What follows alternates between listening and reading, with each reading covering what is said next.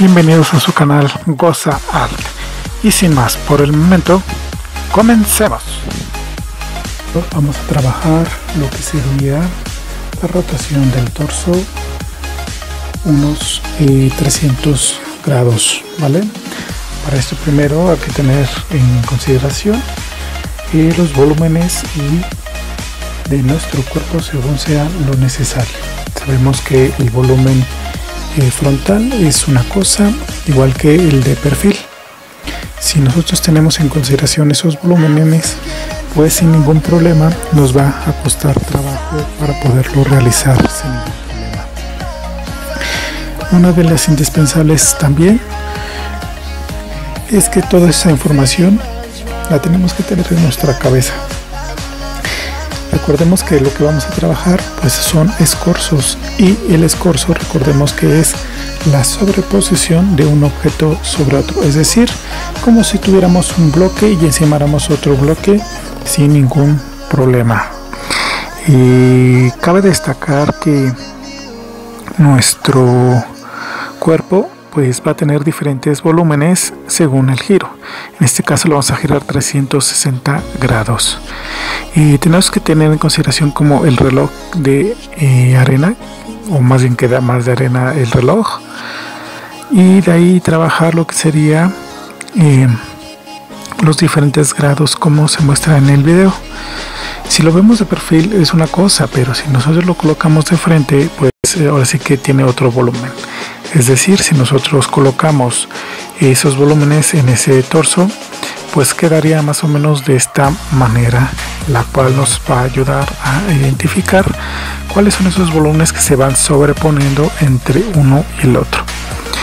Y si les llega a costar trabajo de una manera circular, pues también lo pueden hacer con cajas, que ahorita más adelante veremos algunos ejemplos que podemos realizar con eso, eh, con esas formas. ¿vale?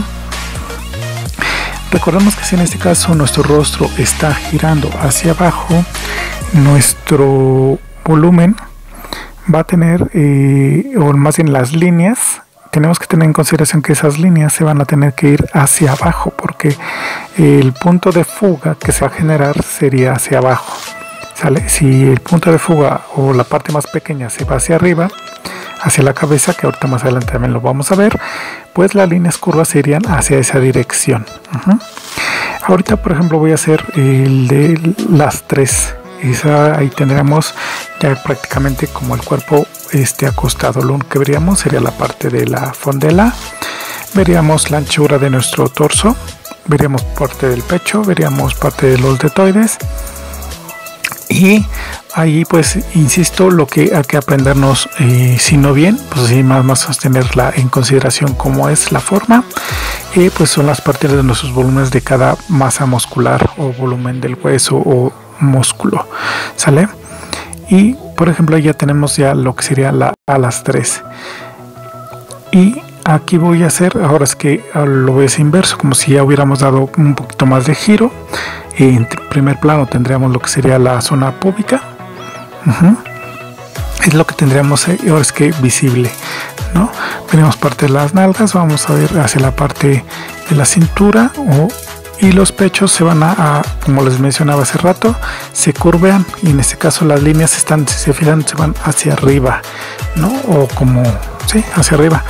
Entonces eh, cada una de nuestras partes de nuestro cuerpo pues se va a tener que dirigir hacia esa zona. El oblicuo y los dorsales pues se van a ensanchar o vamos a ver más partes más bajas de nuestros dorsales y veríamos ahí el, ancho de nuestros brazos. Veríamos parte del maxilar inferior y la punta de la nariz ¿no? en este caso. En este caso pues lo tendríamos eh, en ese siguiente grado que acabo de marcar.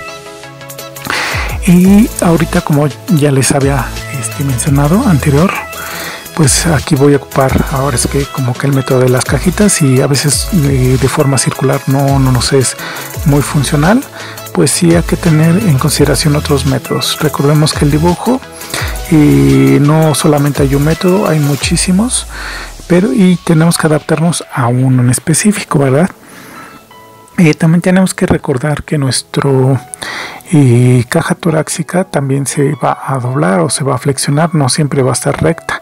Hay que tener mucho cuidado con esa este, flexión, ¿no? Para que también nuestros movimientos se vean pues más articulados o con mucho mayor movimiento.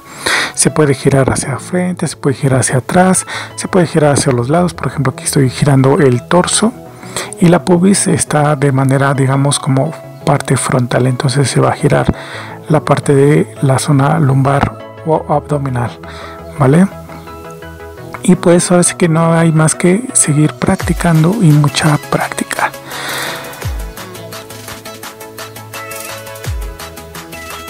Este video, suscribirte, dejar comentarios y dar like.